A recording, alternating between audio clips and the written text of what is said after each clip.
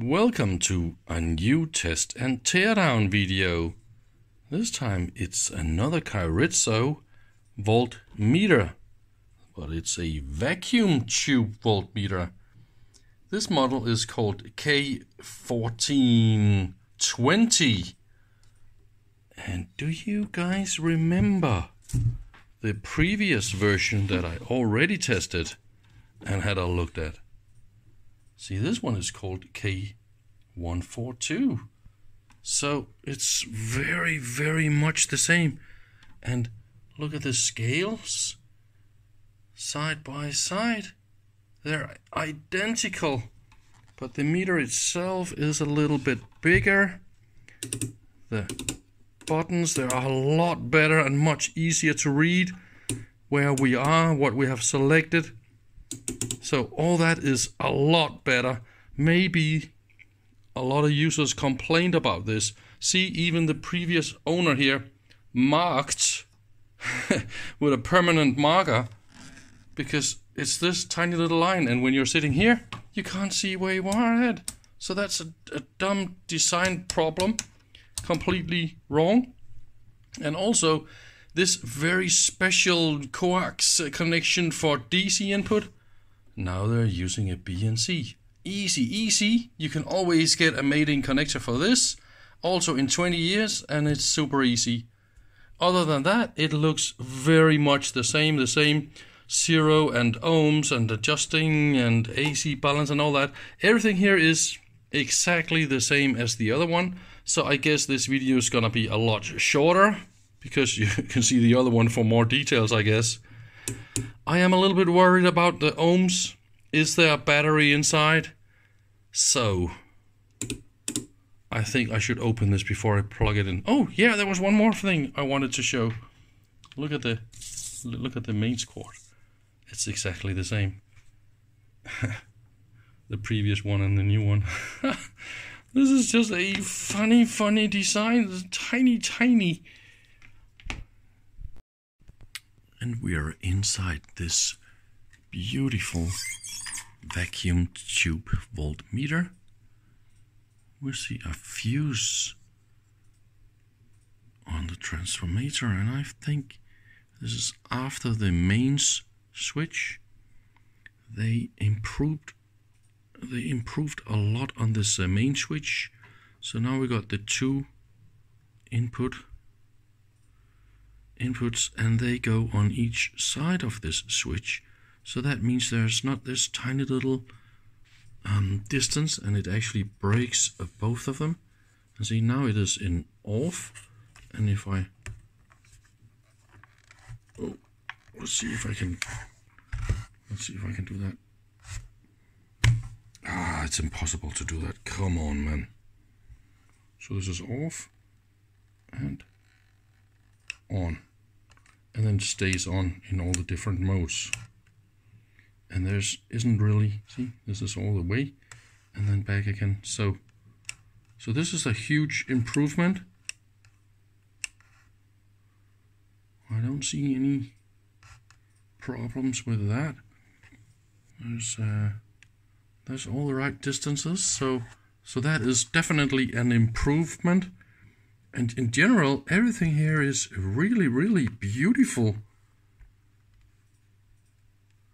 And thank you very much, dear previous owner, for removing the battery correctly when you store your instruments for long time, no use.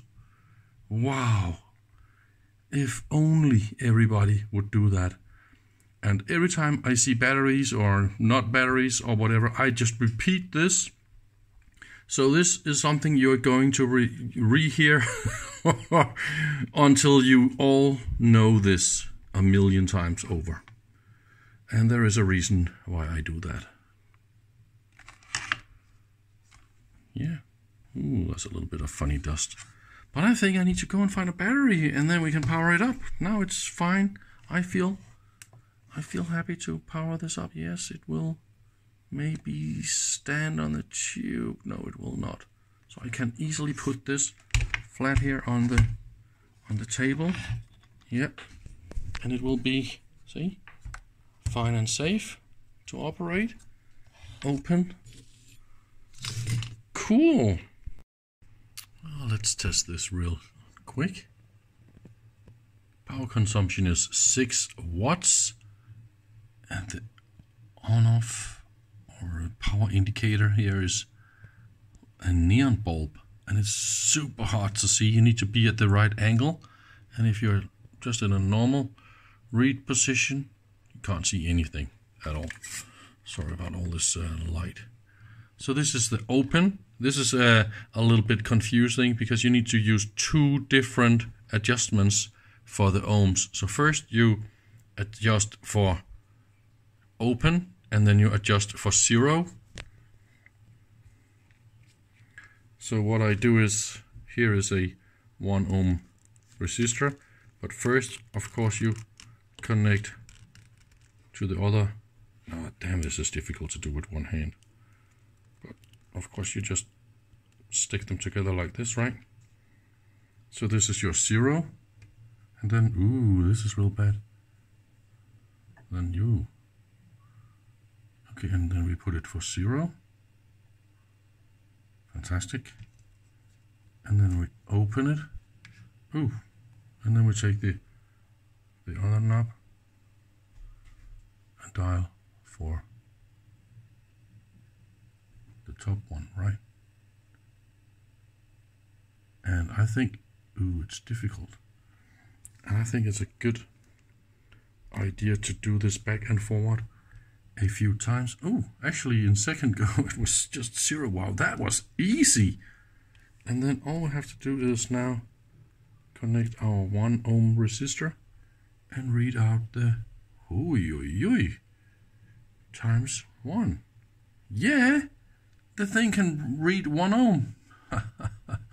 and it looks like it can actually also read a little bit less than 1 ohm, right? So that's great. I think everything works. Uh, that was early, wasn't it? But at least 1 ohm work. That is the first. So I need to go through all the different ranges, and it is this is a classical thing with the DC offsets uh, with uh, with uh, tubes. So uh, and the resistors here and stuff. So every time you change ranges, you see the offset and stuff. That is a little bit annoying, but that is just the way um, this type of, of um, device is used. And then you go back to zero and then adjust that's actually a little bit funny. And you need to turn the other way. See what I'm doing? If I go this way, and if I go that way. So that is a little bit, hmm. Anyway, I'll try some different uh, resistors and then I will get back. See, that is a little bit more than 1K. And I believe this is a 1K resistor. And if it's Open, yep, that was right. And let's put it, oh man, is that impossible to do? And this is the zero, yep. So let's see what kind of resistor we have here. I'm sorry to say, but that resistor is actually a little bit under 1K. And yes, I am measuring on a 4 point with that one, so yips. So that means uh, we need a little bit of a calibration here, but that shouldn't be that difficult. So measuring DC volts, it's quite easy. Just switch to DC positive. And then you need a 1 mega ohm resistor in series with your signal. So I just did it this way just to make sure. And again, use the zero adjust for zero. And I am in the 15 volts range. And let's connect the signal. And this is 12 volts. So that must be the 15 volts range. I believe that is exactly 12 volts. Ha ha. Mana oh, mana oh, this is nice and this is 30 volts input I mean I've been through all the different ranges here uh, I've been playing with uh, a lot of different voltages and stuff but it's it's just crazy how accurate it is. So they did something fantastic on this model.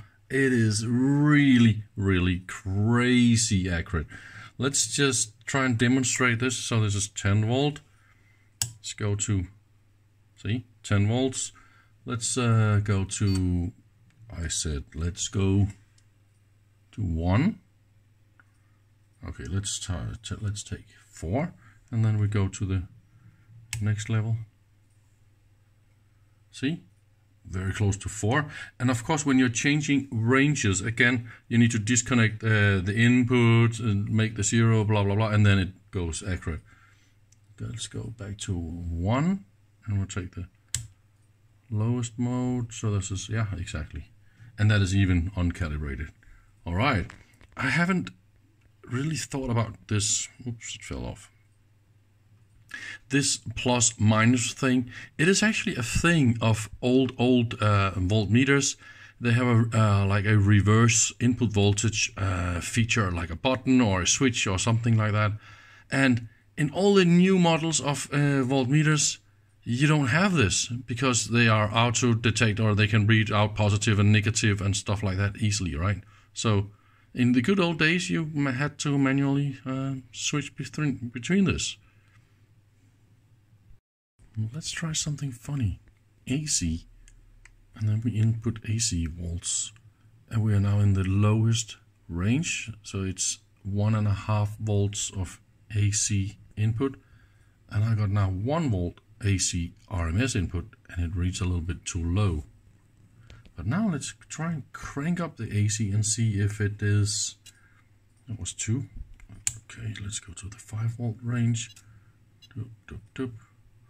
This is 4 volts RMS and it's a little bit too low. Let me try and uh, go to the 15. Okay, now crank it up to 7 volts RMS. 5, 6, 7. See, now it, it works. And this is, of course, there is a diode rectifier and stuff. And that is why you need, the more you input um, your error gets lower and lower, right? So that's quite simple.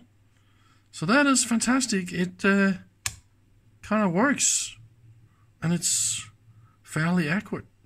Accurate. So I am really um, happy about this. See what I did about the battery? I just put in a an AA cell, and it's actually really, really stable in there. So that is a good solution for now.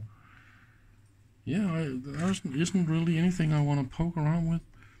I see some trimmers for for trimming, but I don't really know what they do. So I'm only going to make it worse. We could clean the contacts maybe, but I think I'm just gonna pack it nicely back together because this is super the way it is.